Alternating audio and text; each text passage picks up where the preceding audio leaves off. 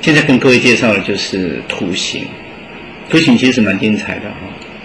诶，我其实学多媒体的时候，图形是我进入多媒体最重要的一个，因为当初我就是常常去从光碟片抓一些图形回来看。那图形现在所有的方法可以透过数位相机，来各位看一下。呃，这个就是数位相机。我刚才这边拍了一张照片，等下秀给各位看。这数位相机，那数位相机里面它就有那个 RAM 卡我把 RAM 卡已经抽出来放进去的。那再来看扫描器，扫描出出来的图蛮精巧的，也可以透过手写板。那虽然画图就没有那么漂亮，你也可以从滑鼠啊、键盘啊把资料输到电脑里面。那输出就是从荧幕来印表机的哈。那我现在从数位相机里面已经抓了一张图哈，各位看看哦哈。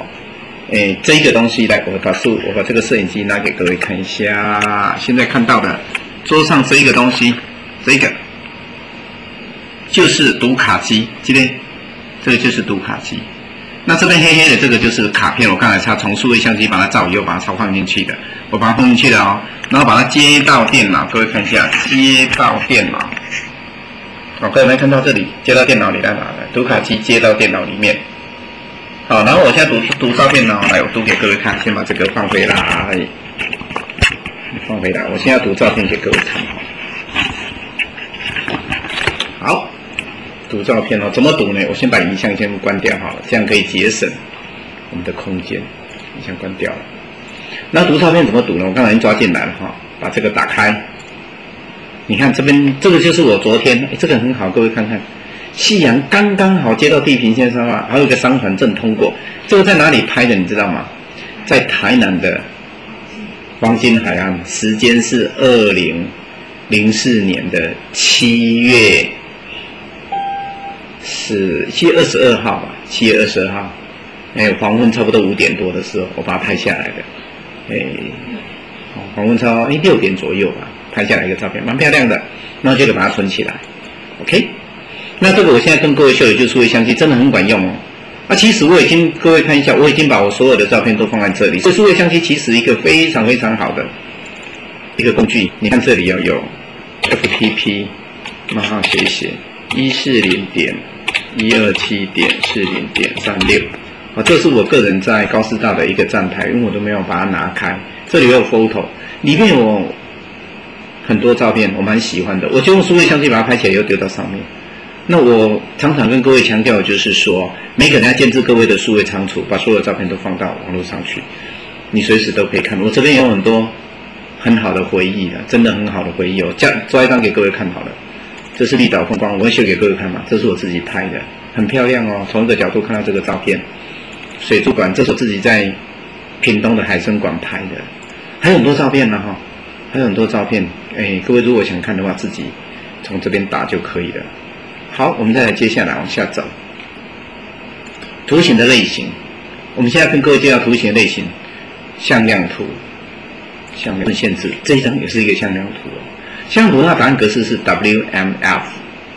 那我不知道你们有没有 WMF 了哈？如果你真的找不到 WMF 的档案，我告诉你，我这里也有存 WMF 的向量图图档在这个地方。好，你看哈，在我这个点三六这里有一个叫。Clip Art，Clip Art 里面呢，Clip Art 里面呢，我再找一下哈，它应该是放在，是不是在 PowerPoint 里面就有了？哎，你看看这边都是 WM 的图，哦，你可以一个我一个一个点给你看，我们随便抓一个，嗯嗯嗯，这个好了，把它开启，哇，啊，这个你看，这个就是 WMF 的向量图，好吧？如果你有兴趣。请各位自己到这边来找哈，这边来找，把这个收起来了，把这个打开。好，刚才给各位看的向量图，这是点阵图。其实我们看，这就是一张点阵图，最典型的。这是电子情书了，You got, you got mail，这是现在点阵点阵图哈。然后再来两个图的比较，我把它我把它整理了，给各位看一下。好，向量图跟点阵图。资料量这个比较大，这个比较小。然后这是像素，这是几公分，解析度，物件的数目，图层的表现，这个比较弱，这个比较强。Anyway，这是给各位看的哈，放大以后这个会失真，这个比较不容易失真。好，接下来我们看图形的基本要素，像素。首先第一个就是我们常常在讲，就是解析度。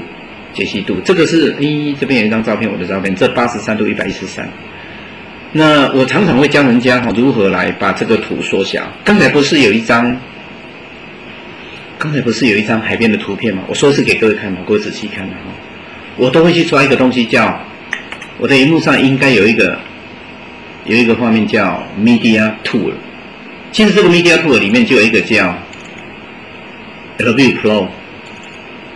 那我这个 LV Pro 呢，我把刚才那个图抓进来，我把它 Open。刚才那个图它是在做，我把它放在桌面上吧。嗯，桌面上的应该是在我的电脑。底下的抽取式光碟机，在各个，因为现在它是数位相机里面嘛，数位相机里面它是，呃，这样好了，它 PIG，然后我刚才它是导出第三张，第一张、第二张应该是这一张，开启，哎，不是，这是我个人照片，我们再抓另外一张，我们再抓另外一张，File Open，然后到我的电脑。底下的啊，他现在正在叫哈，我的电脑的 G 点 D I M O M Pass 第四张导数的一二三，应该这张。开启。好，周长，你看我现在抓照片了哈，你如果觉得这个不错，就从这里抓，你看，你这样效果应该不错，然后就把它 Edit，然后把它 Cut，它就起来了呢，哎，然后你就可以把它存档了，File。然后 save save file as，把它存到桌面上好了，存到桌面上，名称把它叫 sunset sunset，存档，好吧？